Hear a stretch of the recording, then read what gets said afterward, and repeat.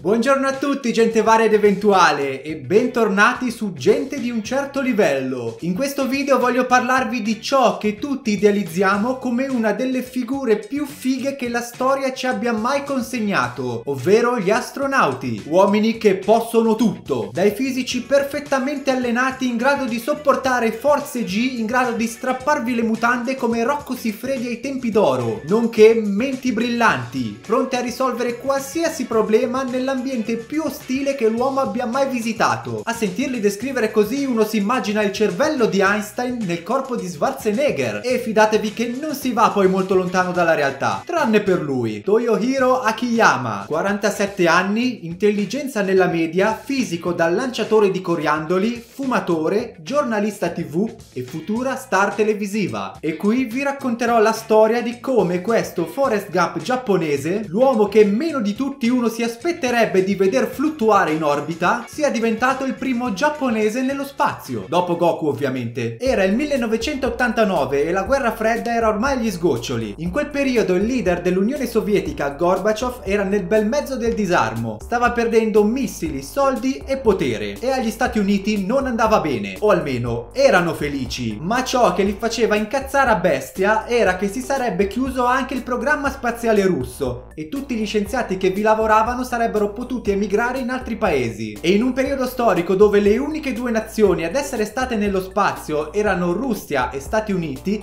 queste non volevano certo trovarsi una bandierina cinese piantata sulla Luna. Così gli Stati Uniti fecero di tutto per incoraggiare e finanziare la corsa allo spazio dei russi. Bene, e che c'entra il Giappone in tutto questo? Il Giappone in quegli anni era nel pieno della bolla economica, ovvero stava creando soldi e ricchezza a una velocità stratosferica. Ma nonostante questa ricchezza sfrenata, i loro soldi non potevano comprare anni di esperienza e ricerche nello spazio. Così il modo migliore per avere avere un astronauta di pura razza nipponica in orbita era quello di finanziare un lancio della decadente industria aerospaziale russa. E tutta questa serie di coincidenze culminò con un ultimo fattore, i 40 anni dell'emittente televisiva di Tokyo TBS, la tv che ha prodotto e messo in onda Takeshi's Castle per festeggiare i suoi 40 anni ebbe una delle idee più geniali della storia della tv, spendere 1,5 miliardi di yen, ovvero circa 13 milioni di euro per finanziare il sogno di un'intera nazione e per farci su anche un programma tv già che c'erano. La scelta per il primo giapponese nello spazio ricadde su Toyohiro Akiyama. Il perché è ancora un mistero che arrovella le menti della gente al pari del perché cazzo Leonardo DiCaprio non è salito su quella porta con Rose. Forse per la sua conoscenza del russo? Non spiccicava una parola. Forse per la sua incredibile integrità fisica? 47 anni e fumatore. Forse per il corpo allenato a sopportare fare sforzi enormi? L'unico sport che praticava era portarsi sigarette alla bocca. La cosa più vicina allo spazio che aveva vissuto era stato fare un reportage sulla distruzione dello Shuttle Challenger nel 1986 e questo signor nessuno venne scelto, oppure obbligato, per essere il protagonista di una delle più gloriose pagine di storia della sua nazione. Diventò protagonista di Nihojin Hatsu Uchuhe e perdonatemi la pronuncia, ovvero il primo giapponese nello spazio. Appena scelto venne mandato alla Star City, ovvero il campo d'addestramento dei cosmonauti russi, dove lo addestrarono in pieno Russian style e dopo un anno di vodka e cipolle fu considerato adatto per il lancio, o almeno per non morire durante il lancio. La mattina del 2 dicembre 1990 Akiyama venne messo su un razzo, a bordo del Soyuz TM-11, con i cosmonauti Viktor Afanaseyev e Musa Manarov, portandosi dietro 6 videocamere, scorta minima per per la sopravvivenza e una mascotte di peluche. E prese il volo? No, iniziò a vomitare. Durante i due giorni di viaggio che lo portarono alla Mir, che per chi non lo sapesse era la stazione sovietica in orbita intorno alla Terra prima dell'ISS, ovvero la Stazione Spaziale Internazionale, i due russi che viaggiarono con lui dissero che non avevano mai visto un uomo vomitare così tanto, oltre al fatto che continuava a piangere perché gli sembrava che la testa gli stesse esplodendo per la pressione. E la cosa non passava passò. Per 7 giorni, 21 ore e 54 minuti fluttuò e vomitò, ma lo show doveva andare avanti. Come in una sorta di grande fratello in cui il protagonista, per ovvie ragioni, non può essere cacciato fuori dalla casa, Akiyama passò tutto il suo soggiorno nello spazio cazzeggiando nel modo più assoluto. Cose tipo faceva fluttuare rane che i russi stavano usando per esperimenti, oppure giocava con un kendama a gravità zero, o ancora faceva il pirla fingendo di svolazzare a gravità zero con due ventagli. Insomma, tutto quello che si vorrebbe vedere in uno show televisivo. Vi lascio sotto nella descrizione il link di un video con una canzone che la libreria di YouTube definirebbe ispirante, in cui viene ripercorsa velocemente tutta la sua avventura. Fate caso ai suoi occhi sempre gonfi di lacrime anche durante le gag. Il 10 dicembre 1990 tornò a casa sano e salvo. E quali furono le sue parole appena vide il cielo sopra la sua testa? Portatemi dello buono cibo e qualcosa da fumare. Signori, davanti a quest'uomo c'è solo da inchinarsi. Annunciò il suo ritiro da astronauta il giorno stesso, anche perché quale altri pazzi avrebbero potuto rimandarlo lassù? Forse solo la TBS in un'operazione nostalgia. E solo quando fu tutto finito si resero conto di aver mandato non solo il primo giapponese nello spazio,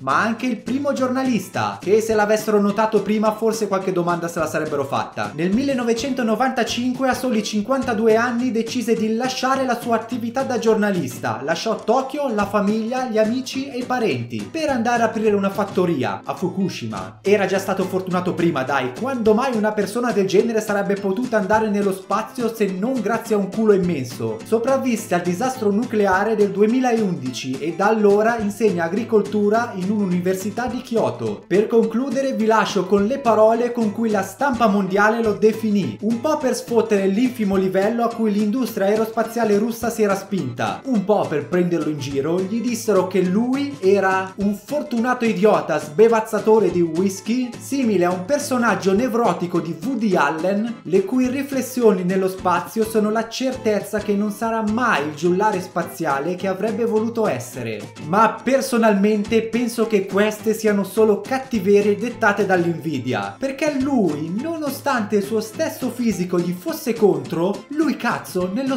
spazio c'è andato.